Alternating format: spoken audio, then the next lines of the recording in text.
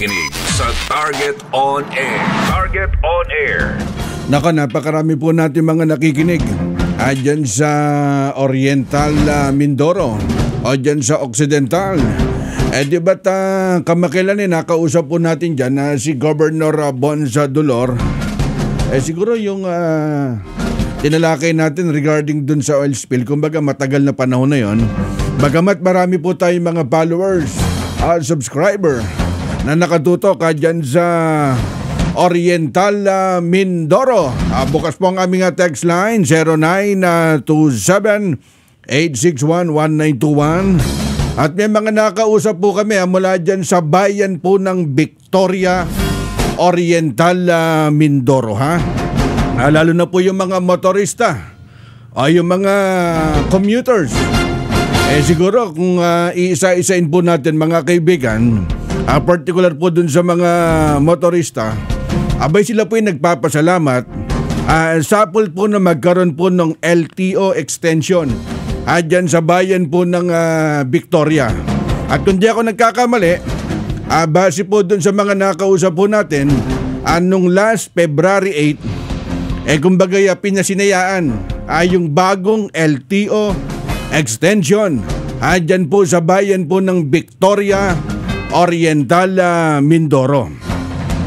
Eto masaklap na kwento ka Rex. Dal matapos pong inganyohin Kumbaga wala po sa plano na pasukin ang politika. Iningganyo, kinumbinse at kinausap anong mga kabataan, senior citizen. Eh kumbaga pakinggan mo kami at kailangan ka namin na maging ama ah, dito po sa bayan ng Victoria dyan sa Oriental Mindoro ah, itong si Mr. Richard Valencia Inchong. Sa madalit salita, si Sir Richard Inchong abay iningganyo na pumasok po sa politika. Ah, babalikan ko lang ha. February 8, nagsagawa po ng inauguration doon po sa LTO extension. Eh kumbaga naging instrumento po niyan para magkaroon po ng LTO. Sa madalit salita, hindi po mahirapan ay yung kanyang kababayan dyan sa Victoria Oriental Mindoro. Ngayon, ito po matinding usapin po ngayon dyan ha. Ito pa, partida pa yan ha. At para kay Boss uh, Richard Valencia ha. Yung mismong tinatayuan ng LTO extension o yung building o yung gusali ha. Wala pong bayad yung renta o yung upa. Dahil yan po ay pag-aari ni Boss Richard Inchong. Ngayon, ang pinapaka, pinapakalat po na issue nung kalaban sa politika, yung lahat daw po ng law enforcement ah, ng LTO, yung kanilang operation, pag daw nang uhuhuli, abay utos daw nila. Pwede ba yon? Eh, di ba? Eh kumbaga ito'y paglilinaw po dyan sa Victoria Oriental Mindoro, meron pang ibinabato sa kanila na yung usapin tungkol po dyan sa operation ah, ng LTO. Eh kumbaga uh, hindi po kayang impluensyahan po yan. Ba? Para lang po sa kalaman nyo ha, eh yan po isang pampublikong tanggapan na pinatatakbo po ng gobyerno at hindi po maaaring uh, saklawan o impluensyahan mga kaibigan. Para ba sinasabi kapag nanghuli yung LTO? Hindi, utos nila yan eh. Para mamroblema doon sa violation. At para ibintang sa kanila. Ganon, para magalit. Mali. Dapat matuwa po kayo.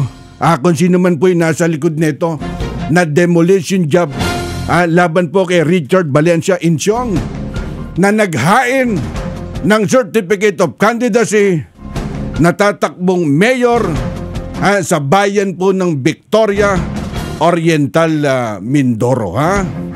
Ayan, kung nanonood po kayo sa aming Facebook Live, hindi po namin kilala ng personal yan. Bagamat bumabase po kami ah, dun sa kanyang mga kababayan, particular po dun sa kanyang mga natutulungan Kagaya po dyan sa Barangay Malabo. Kung pamilyar po sa inyo yung Bagyong Leon, di ba? Ilang libong residente na apektuhan po doon. To the rescue na andun po ang buong staff ni Richard Ensyong para tulungan yung mga naapektuhan anong Bagyong Leon. Adyan po sa Barangay Malabo. Ayan. Ipinakikita po namin sa inyo kasi nakausap po namin sila eh. Kumbaga doon po kami bumabase. Hindi po dito kay Mr. Richard Enchong kasi hindi po namin siya kilala ng personal eh. Pero masigit po namin uh, nakausap yung kanyang mga tinulungan. Kumbaga isa-isang ikinuwento na eto na panahon na ah, para magpalit ng bagong nanunungkulan ah, dyan sa Victoria Oriental Mindoro. Kaya nga naging slogan po dyan eh. Di ba nung bumisita kami kamakailan? Abay ah, tuloy ang laban sapagkat respetadong Victorianos na may integridad, kayo ang bida. Sa mga slogan pa lang eh, parang naaamoy na natin na kailangan na magkaroon ng bagong muka ah, dyan sa bayan ng Victoria Oriental Mindoro ha. Tututukan natin ah, itong midterm election ah, dyan sa Oriental ah, Mindoro ha. At uh, nako, cambio muna tayo ng topic. Mukhang mainit pa rin yung usapin ah, dun sa International Criminal Court. At meron na statement ha, si President BBM anong bumisita ah, dyan sa Paranaque City. Ha? Pagbalik po natin ay yung mga ilang comment, babalikan po natin ha. Kayo'y nakikinig sa Target On Air. Target On Air.